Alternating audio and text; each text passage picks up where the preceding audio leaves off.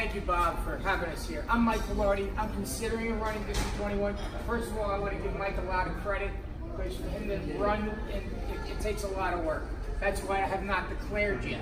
Okay, my experience is a little different than Mike's. District is different, different. No, same district. Same. We're actually in the same district. I just have not declared yet. We're, we're trying to take out Lois Frankel, Okay, but like I said, Lucas, we just have a little slightly different experience. If I get the support, I'll run. If I don't get the support, I'm going to back him. It's that simple. All right.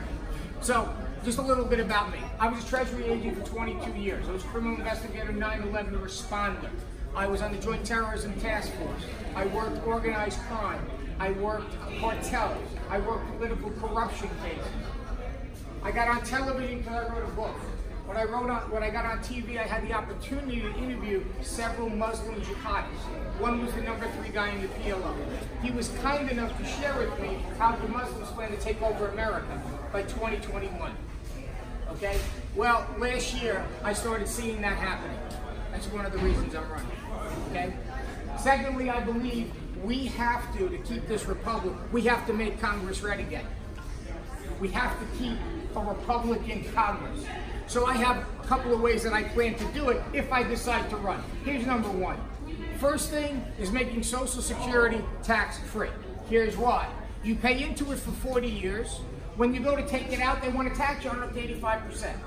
The real issue with Social Security is not the retirement benefit, it's the fact that there's so much fraud when it comes to the disability section. And I, as I told you before, I arrested one of those Russians, and he told me they give everybody a book, come over here, take advantage of America, bankrupt America.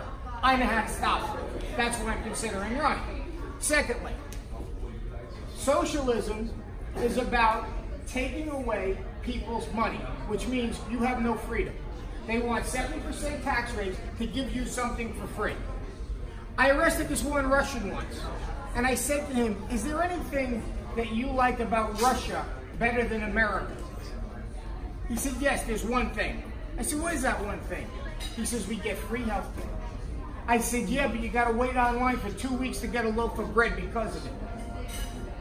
So what I did was I came up with a health care plan that instead of being a disincentive and taxing people so they don't want to work and lose their money, here's what I do. I reward the rich people for giving money to medical scholarships.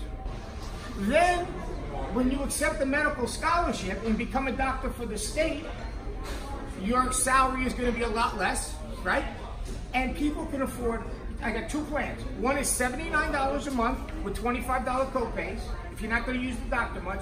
The other one's $149 a month with 5 and $10 copays. Everybody can have affordable insurance. All because most of the money comes from wealthy people giving. And what, what's the incentive to give?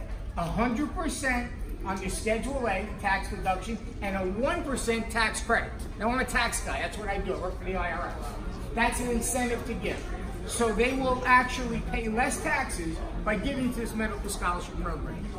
This is my way, if I run, to make a blue district go red. I'm going to give Democrats a reason to vote Republican. So if I get your support, I'll do it. If not, I'll support you. Yes. Uh, sorry, just uh, seems to me that